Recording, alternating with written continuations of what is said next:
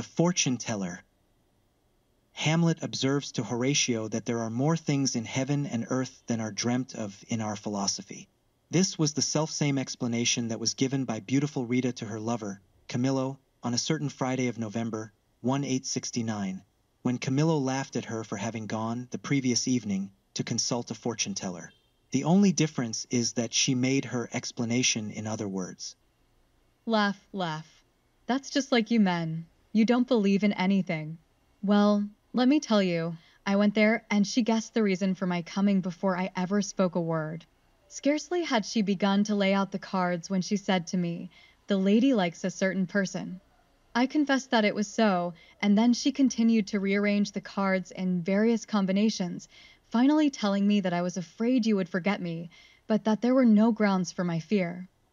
She was wrong, interrupted Camillo with a laugh. Don't say that, Camillo. If you only realized in what anguish I went there, all on account of you. You know, I've told you before. Don't laugh at me. Don't poke fun at me. Camillo seized her hands and gazed into her eyes earnestly and long. He swore that he loved her ever so much, that her fears were childish. In any case, should she ever harbor a fear, the best fortune teller to consult was he himself. Then he reproved her, saying that it was imprudent to visit such houses. Villela might learn of it, and then... Impossible. I was exceedingly careful when I entered the place. Where's the house? Near here, on Guarda Velha Street. Nobody was passing by at the time. Camillo laughed again. Do you really believe in such things? It was at this point that she translated Hamlet into everyday speech, assuring her lover that there was many a true, mysterious thing in this world. If he was skeptical, let him have patience. One thing, however, was certain. The card reader had guessed everything. What more could he desire? The best proof was that at this moment she was at ease and content. He was about to speak, but he restrained himself. He did not wish to destroy her illusions. He, too, when a child, and even later, had been superstitious, filled with an arsenal of beliefs which his mother had instilled, and which had disappeared by the time he reached twenty. The day on which he rid himself of all this parasitic vegetation, leaving behind only the trunk of religion, he wrapped his superstition and his religion, which had both been inculcated by his mother, in the same doubt, and soon arrived at a single total negation. Camillo believed in nothing. Why? He could not have answered. He had not a solitary reason. He was content simply to deny everything. But I express myself ill, for to deny is in a sense to affirm, and he did not formulate his unbelief. Before the great mystery, he simply shrugged his shoulders and went on. The lovers parted in good spirits, he more happy than she. Rita was sure that she was loved. But Camillo was not only sure that she loved him, but saw how she trembled for him and even took risks, running to fortune tellers. However much he had reproved her for this, he could not help feeling flattered by foot their secret meeting place was in the old Barbono street at the home of a woman that came from Rita's province. Rita went off through Mangueira's street, in the direction of Botafogo, where she resided. Camillo entered Guarda Velha street, keeping his eye open as he passed, for the home of the card reader. Villela, Camillo, and Rita. Three names, one adventure and no explanation of how it all began. Let us proceed to explain. The first two were friends since earliest childhood. Villela had entered the magistracy. Camillo found employment with the government, against the will of his father, who desired him to embrace the medical profession. But his father had died, and Camillo preferred to be nothing at all, until his mother had procured him a departmental position. At the beginning of the year 1869 Villela returned from the interior, where he had married a silly beauty, he abandoned the magistracy and came hither to open a lawyer's office. Camillo had secured a house for him near Botafogo and had welcomed him home. Is this the gentleman? exclaimed Rita, offering Camillo her hand. You can't imagine how highly my husband thinks of you. He was always talking about you. Camillo and Villela looked at each other tenderly. They were true friends. Afterwards, Camillo confessed to himself that Villela's wife did not at all bell the enthusiastic letters her husband had written to him. Really, she was most prepossessing, lively in her movements, her eyes burning, her mouth plastic and piquantly inquiring. Rita was a trifle older than both the men. She was 30, Villela 29, and Camillo 26. The grave bearing of Villela gave him the appearance of being much older than his wife, while Camillo was but a child in moral and practical life. He possessed neither experience nor intuition. The three became closely bound. Propinquity bred intimacy. Shortly afterwards, Camillo's mother died, and in this catastrophe, for such it was, the other two showed themselves to be genuine friends of his. Villela took charge of the interment, of the church services, and the settlement of the affairs of the deceased. Rita dispensed consolation, and none could do it better. Just how this intimacy between Camillo and Rita grew to love he never knew. The truth is that he enjoyed passing the hours at her side. She was his spiritual nurse, almost a sister, but most of all she was a woman and beautiful, the aroma of femininity. This is what he yearned for in her and about her seeking to incorporate it into himself. They read the same books, they went together to the theater or tour walks. He taught her cards and chess, and they played of nights. She badly, B to make himself agreeable, but little less badly. Thus much as far as external things are concerned.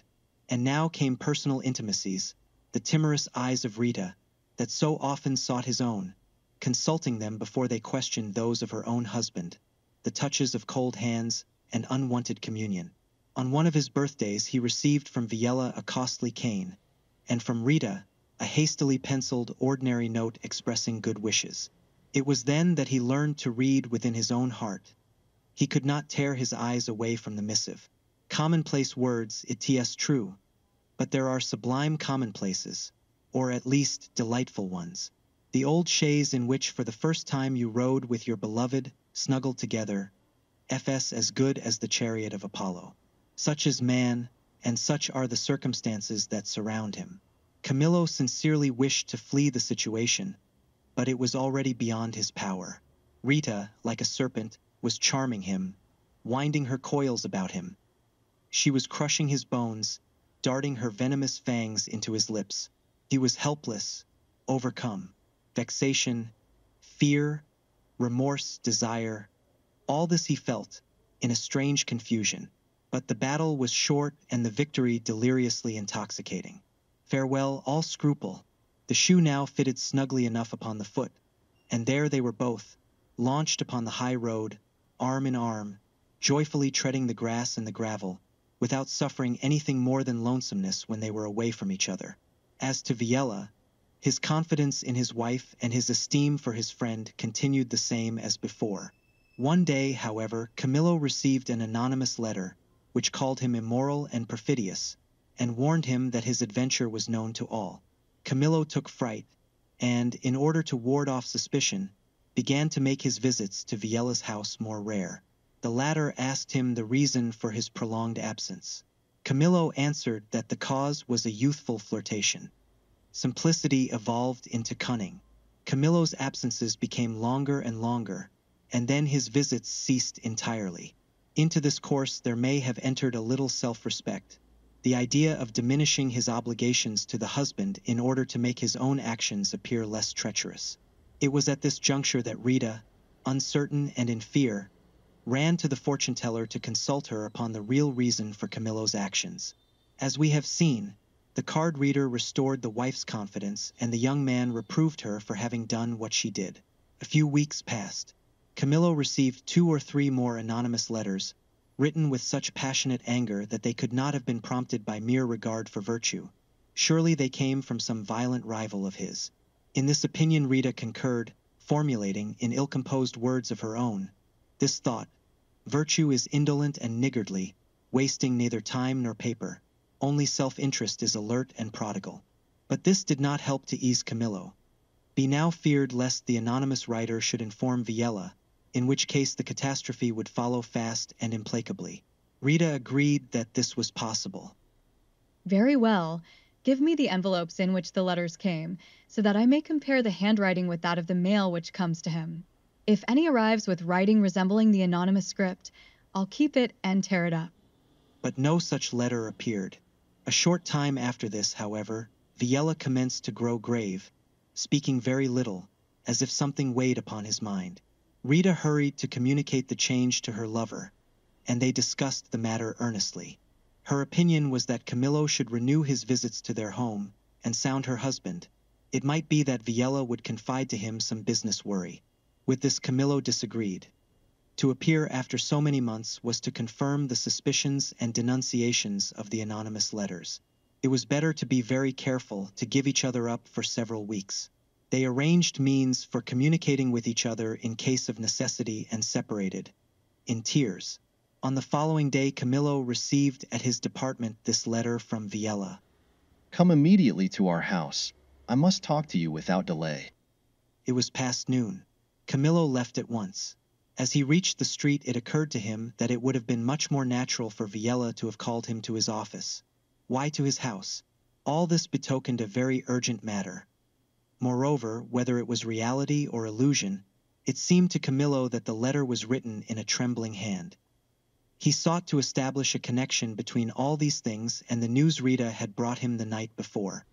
Come immediately to our house. I must talk to you without delay. He repeated, his eyes staring at the note. In his mind's eye, he beheld the climax of a drama. Rita cowed, weeping. Villela indignant, seizing his pen and dashing off the letter, certain that he, Camillo, would answer in person, and waiting to kill him as he entered. Camillo shuddered with terror. Then he smiled weakly. In any event, the idea of drawing back was repugnant to him, so he continued on his way. As he walked, it occurred to him to step into his rooms. He might find there a message from Rita explaining everything, but be found nothing, nobody. He returned to the street, and the thought that they had been discovered grew every moment more convincing. Yes, the author of the previous anonymous communications must have denounced him to the husband. Perhaps by now Villela knew all. The very suspension of his calls without any apparent reason, with the flimsiest of pretexts, would confirm everything else. Camillo walked hastily along, agitated, nervous. He did not read the letter again, but the words hovered persistently before his eyes, or else, which was even worse, they seemed to be murmured into his ears by the voice of Villela himself. Come immediately to our house. I must talk to you without delay. Spoken thus by the voice of the other, they seemed pregnant with mystery and menace. Come immediately. Why? It was now nearly one o'clock. Camillo's agitation waxed greater with each passing moment. So clearly did he imagine what was about to take place that he began to believe it a reality, to see it before his very eyes. Yes, without a doubt, he was afraid. He even considered arming himself, thinking that if nothing should happen, he would lose nothing by this useful precaution. But at once he rejected the idea, angry with himself, and hastened his step towards Carioca Square, there to take a tilbury. He arrived, entered, and ordered the driver to be off at full speed. The sooner the better. He thought, I can't stand this uncertainty. But the very sound of the horse's clattering hoofs increased his agitation. Time was flying, and he would be face to face with danger soon enough. When they had come almost to the end of Guarda Velha Street, the Tilbury had to come to a stop. The thoroughfare was blocked by a coach that had broken down. Camillo surveyed the obstruction and decided to halt. After five minutes had gone by, he noticed that there at his left, at the very foot of the Tilbury, was the fortune teller's house, the very same as Rita had once consulted. Never, as at this moment, had he so desired to believe in card reading. He looked closer, saw that the windows were closed, while all the others on the street were opened, filled with folks curious to see what was the matter. It looked for all the world like the dwelling of indifferent fate. Camillo leaned back in his seat so as to shut all this from view. His excitement was intense, extraordinary, and from the deep, hidden recesses of his mind there began to emerge specters of early childhood, old beliefs, banished superstitions. The coachman proposed another route. He shook his bead and said that he would wait. He leaned forward to get a better look at the card reader's house. Then he made a gesture of self ridicule. It had entered his mind to consult the fortune teller, who seemed to be hovering over him, far, far above, with vast, ash colored wings. She disappeared, reappeared, and then her image was lost. Then, in a few moments, the ash colored wings stirred again nearer, flying about him in narrowing circles. In the street, men were shouting, dragging away the coach. There! Now! Push! That's it now! In a short while the obstruction was removed. Camillo closed his eyes, trying to think of other things. But the voice of Rita's husband whispered into his ears the words of the letter, Come, immediately. And he could behold the anguish of the drama. He trembled. The house seemed to look right at him.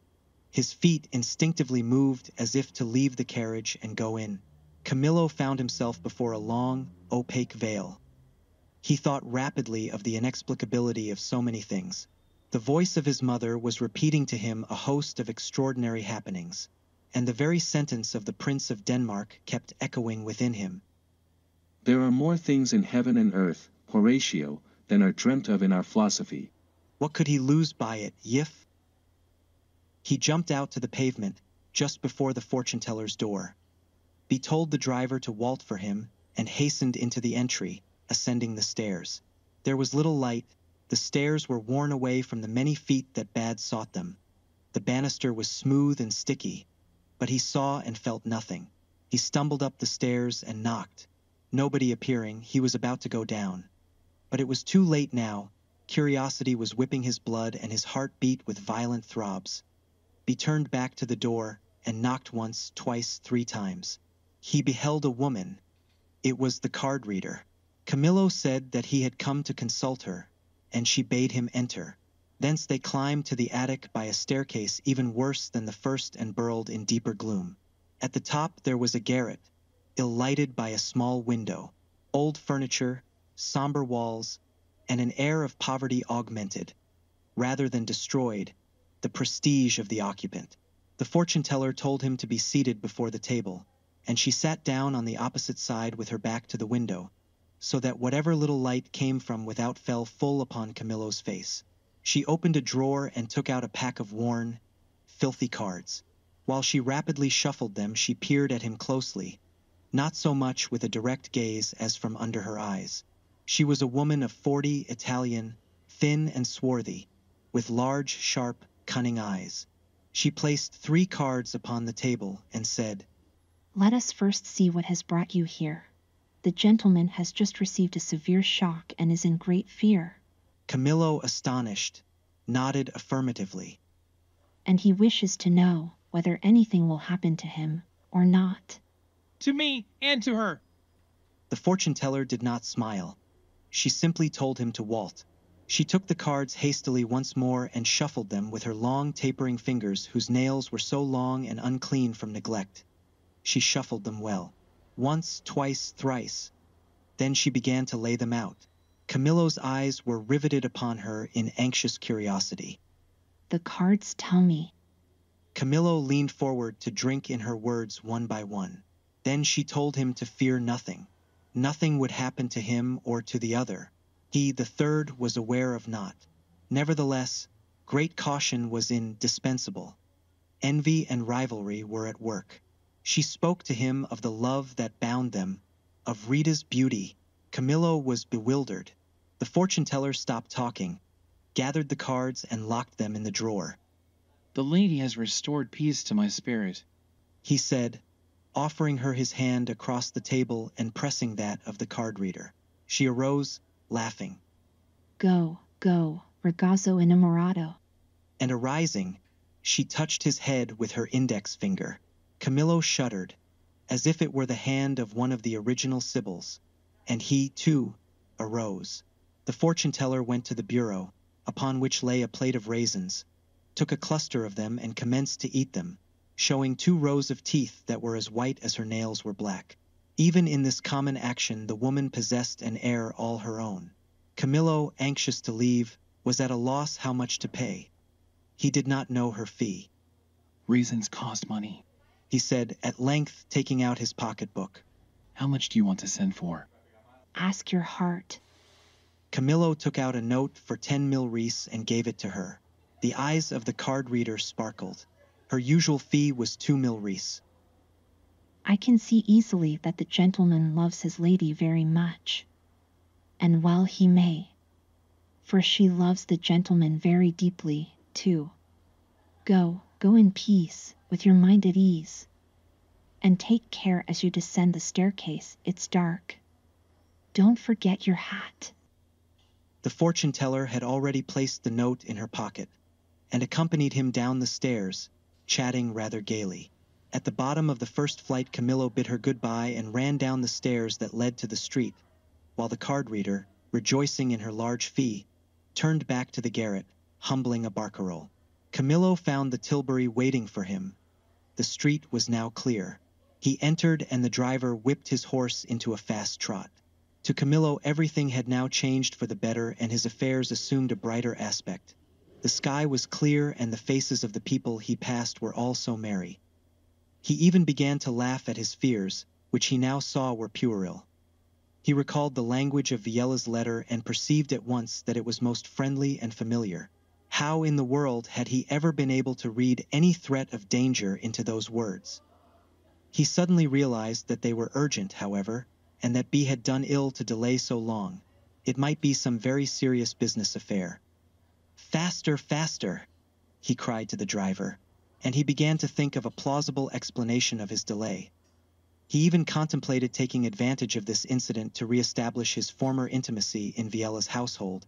Together with his plans, there kept echoing in his soul the words of the fortune teller.